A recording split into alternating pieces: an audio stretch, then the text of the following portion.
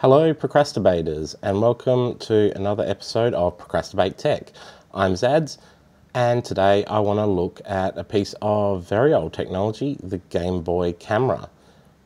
Not the first, but definitely one of the earliest examples of a digital camera, and it plugs straight into your Game Boy Pocket or Game Boy.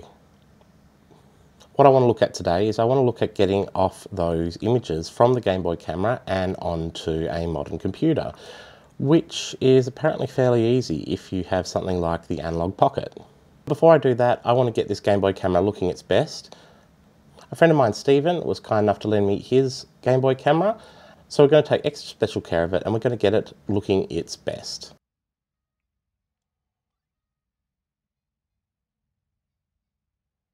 Since this contains a whole bunch of fond memories belonging to Steven's childhood, I thought I should take extra special care of it and before we take off the battery, make sure that the entire memory contents is already deleted. This will help him learn a valuable lesson about not backing things up before he sends them to me, won't it? So we're going to start with that and then we'll move on to getting images off the thing. Let's go.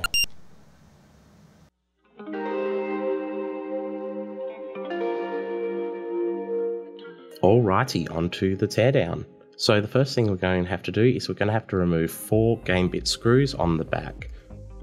These are a special bit that Nintendo loves to use on all of their hardware. Bits for this are usually available from most decent electronic stores and hardware stores such as Jaycar or Bunnings. The ones I'm using are from iFixit. So let's remove those four screws.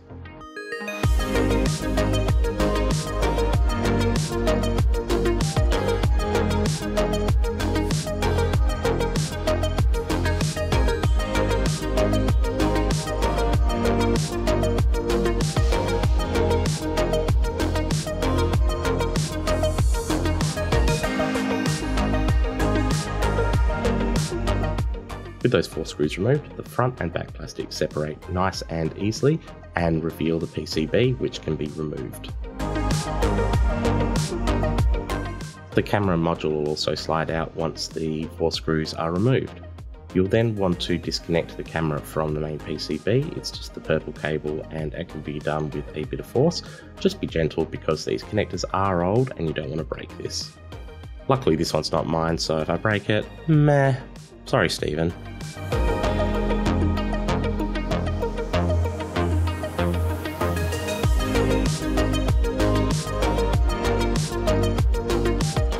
Once you've disconnected that, there's two screws holding the little plastic pivot point together, so you want to unscrew them. This time they're just Phillips heads. They are in there quite tight, so you'll need to use a little bit of force, but again, be gentle, these are all old plastics.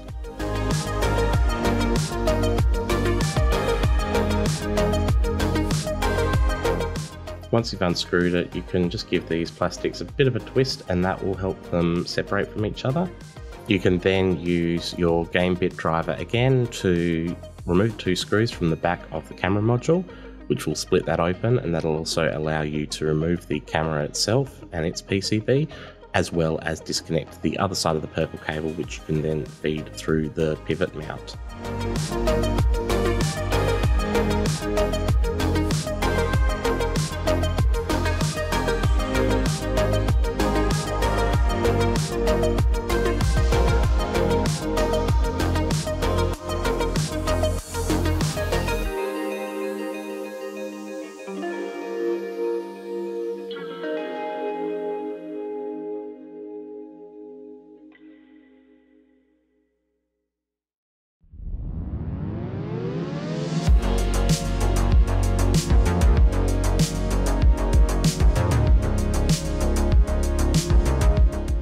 Can then also remove the white frame around the camera casing.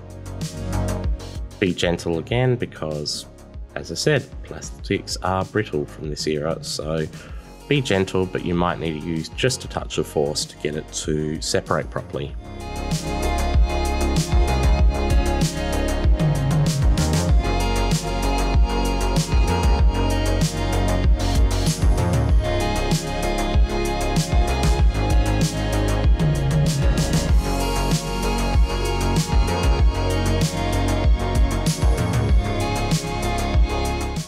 And there you have it. All the plastics are now separated and now you've got the PCB to work on. Given how old this cartridge is, it's probably going to be due for a battery soon. I'm actually quite surprised this one isn't already due for a battery because it is actually still saving photos. So I'm going to remove the existing battery, which will be a combination of a lot of heat and soldering braid just to get rid of all the existing solder and a lot of stuffing around. You might have a better technique for doing this, just be careful there are some little components next to one of the terminals that you obviously don't want to burn off. If you are doing this, you will need some special CR2025 batteries with the tabs. These are usually pretty plentiful on places like eBay. However, your quality may vary. I don't know how good these batteries are going to be, Unfortunately, there's no, I guess, legitimate supplier for these sorts of batteries because they have those annoying little tabs on there. You might be able to find another way to put just the standard CR 2025 onto the PCB, but it will require a little bit of hacking around to get it working. Anyway, I've used some that I got off eBay from an Australian seller. Hopefully these ones will work fine. Let's get this on the board.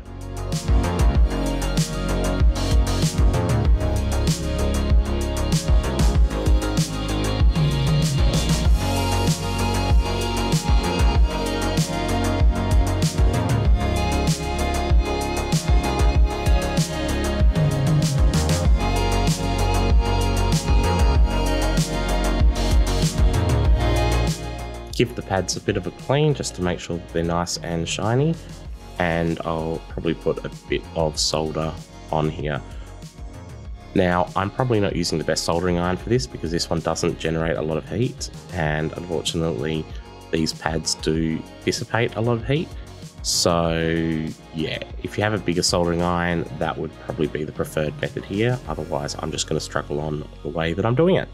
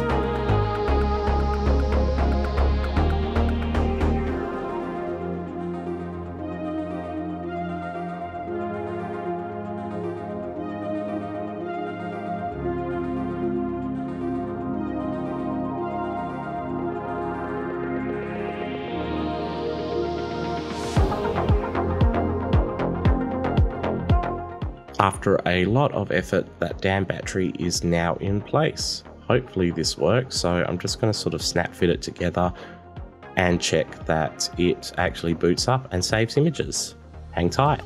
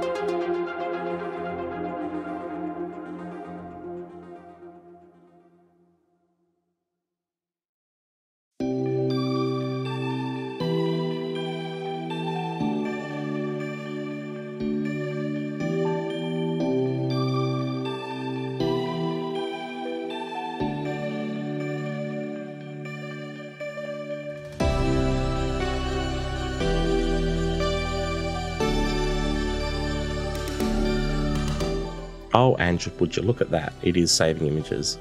Fantastic, at least we know this battery also works.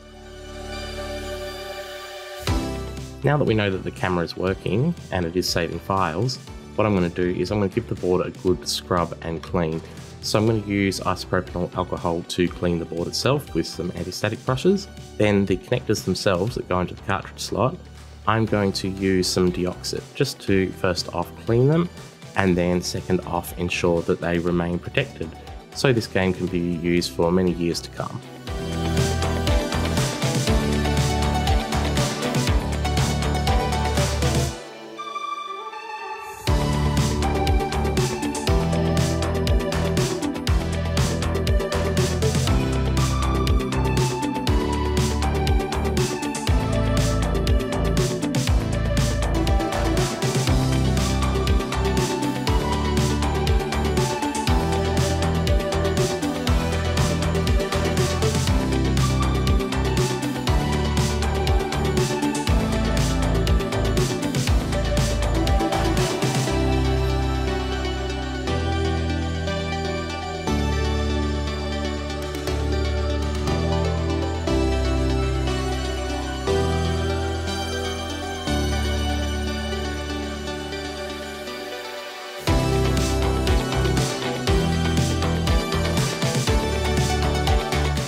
I'm also going to give the lens a bit of a clean. I'm just going to use a little Q-tip just to give it a clean, something nice and soft.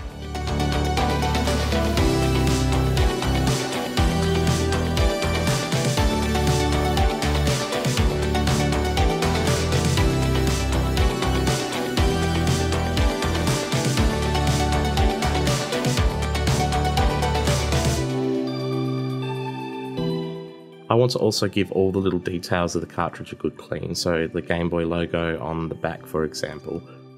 Lots of dirt caught up here, so I'm going to use a soft little brush to try and get as much of this out as possible. Once I've got that all out, I'm then going to give the cartridge casing a proper clean just in some soapy water. Now, this part is pretty time consuming because it is very hard to get those bits of dirt, especially the fine stuff, out of these fine little details. So, this might take a while. Let's keep going.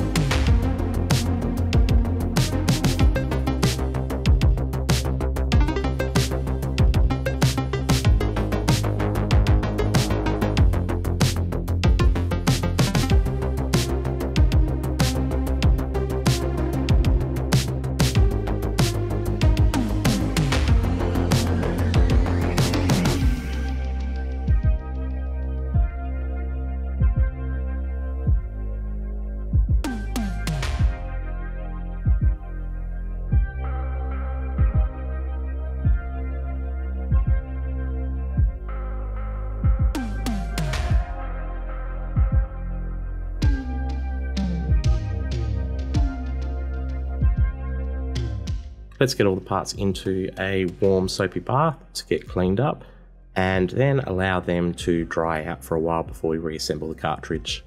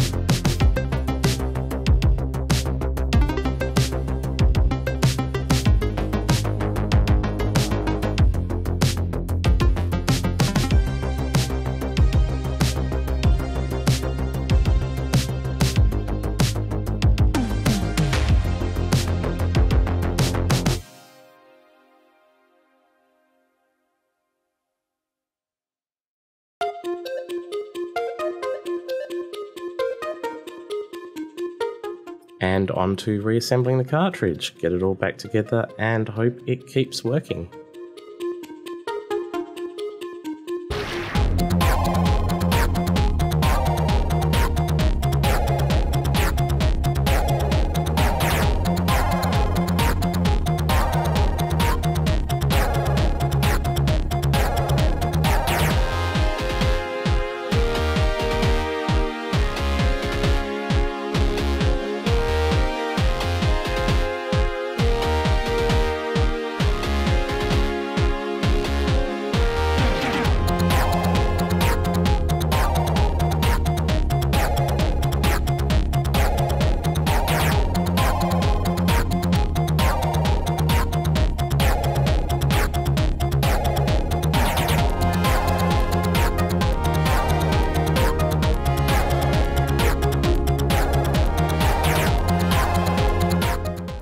It's reassembled. Fantastic.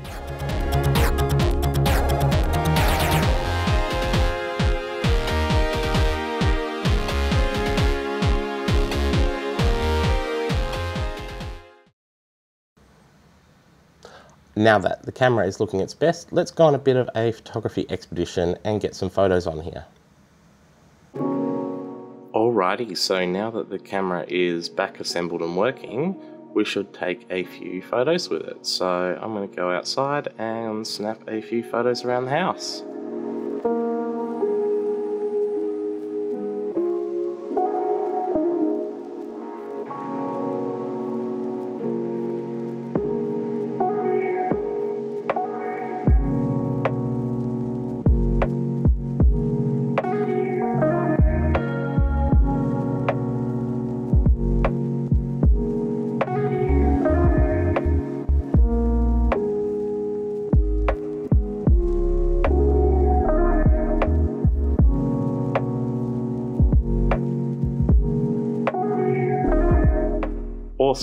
I've got some photos on the Game Boy camera.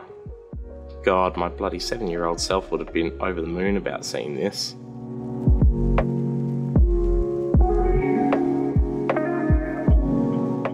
I even took the camera on a bit of an expedition to the train station to grab a couple of photos of the train coming through, despite getting a lot of funny looks from other commuters.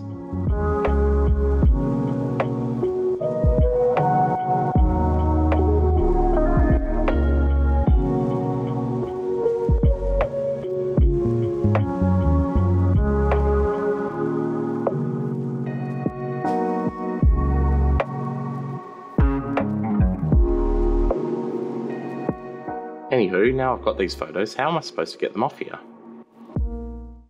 Now that I've got some photos on here, how am I supposed to get them off the device, you say? Well, let me show you.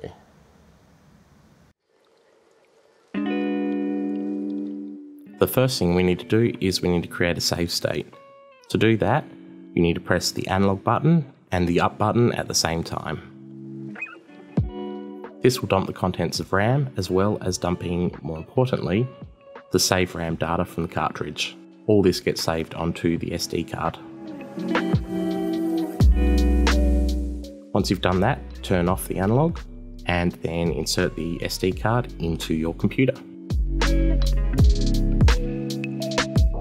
You'll need an application called Pocket Sync, which I will link in the description.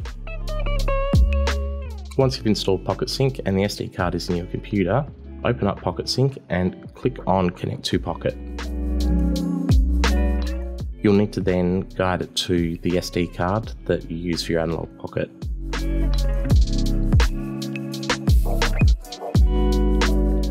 Go to Save States and then find the latest Game Boy camera save state. Click on the little camera icon on that save state and that will show you all of your pictures.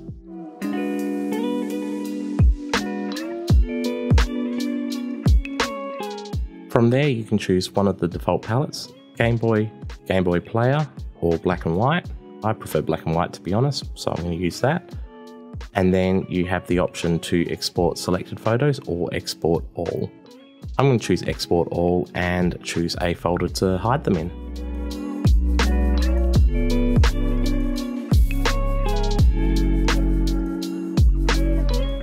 Fantastic, now they're all exported and that's how you get them onto your computer. It's as simple as that. Well, at least it is if you have an Analogue Pocket anyway. Sorry, I can't help you if you don't have an Analogue Pocket. Now these images will be exported in their original dimensions, which is 128 by 112 pixels. Now you will notice that if you do put them into any modern day application, the scaling may look make them look as ugly as hell, so one thing I might suggest is scaling these in another application like Photoshop. For the best results when scaling, first off make sure you use a width and height that is directly divisible by the existing width and height and doesn't leave any remainder. And I would use resampling of nearest neighbor. This will give those nice hard blocky edges to those photos. Anything else might result in very sort of softened and ugly sort of photos.